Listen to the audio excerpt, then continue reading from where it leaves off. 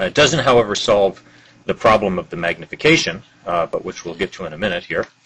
Um, but let's look at how a one lens, three lens, and five lens system would behave. And I'm not basically going to draw those because that's too much effort. But a one lens system essentially behaves as a 1 over s. So you're going to get a curve like this. Uh, it has one inflection point. Um, another way to draw it would be like this, where you have a point where the rays become parallel and the image distance goes to infinity. Um, would be another way to look at a one lens system. When we go to a three lens system, we come up with a second order polynomial. And here are some examples of what the image distance as a function of lens position might look like for a three lens system. Uh, they look like curves from second order polynomials. If we go to a five lens system, that might be a fourth order polynomial, you might get something that looks like this right here. And in fact, uh, uh, what we find is that uh, you do get systems like this as you move to more and more lenses, and you get more and more inflection points in your curves as you get more and more lenses. One thing I want to point out here is if this, in fact, is the position of the last lens, it's possible here to get virtual images uh, for, image, for such imaging systems. And you know it's a, a virtual image if this is the position of the last lens and your image point you calculate happens to be inside on this side of your last lens, you're getting a virtual image and you certainly can't use it for any kind of real camera system like you'd want to build a zoom lens for. Um, now on to the problem of magnification. This is really straightforward. We know the uh, transverse magnification is just the image distance divided, or the image height divided by the object height.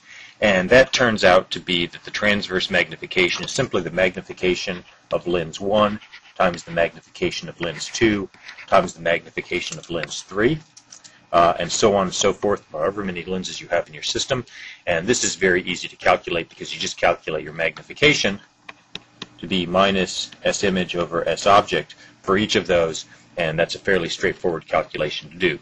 And now that we're able to calculate uh, using real numbers an actual image position for an n-lens optical system and calculate the magnification of that, now we can start to define what a zoom lens is. So let's take a look at that for a couple of cases here. Uh, here on this graph I just popped up, the dashed line represents the magnification, and the solid line represents the image plane position following the third lens. And as we've said, with a positive lens, a negative lens, and a positive lens, this in fact forms a zoom lens. And this is what this might look like. So let's take a look at this. Um, what I want to bring your attention to is this region right in here as a function of the lens spacing, D12, you'll notice there's a region here that for some position of this lens spacing right in here, there is no change of the image position. The image position stays essentially constant. So no matter how you move this lens, if your image doesn't shift, it's still focused on the film and it doesn't get blurry. It doesn't go out of focus. Over this region, you'll notice, in fact, there's a change in magnification. The magnification goes from this value to this value. So what this curve is telling you is that the image is staying in focus as you adjust this lens spacing, but the size of the image given by the magnification is changing.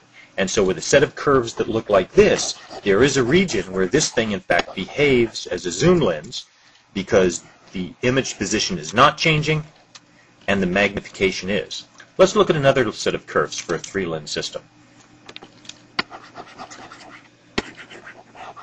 Uh, here we have our image position constantly changing and our magnification also changing. This is not a zoom lens because there's no point where as you change the lens spacing here, the image position remains constant. So if I came up with a set of curves, I would say this, does, this optical system does not form a zoom lens. Uh, let's take a look at a somewhat more complicated case, as we might find with a five-lens system. Uh, here we've got a very large region where the image position is relatively constant. Um, however, for most of this region, the magnification is also relatively constant, and this does not form a good zoom lens. However, in this region, right in here, we have a fairly large change of the magnification from this value down to this value while our image position is not shifting much. And so this is also a good zoom lens, but not just because the image position is constant, because the magnification changes when the image position is also constant. So what we've done today, to recap all of this, is that we are able to write fairly simple polynomial equations for an n-lens system.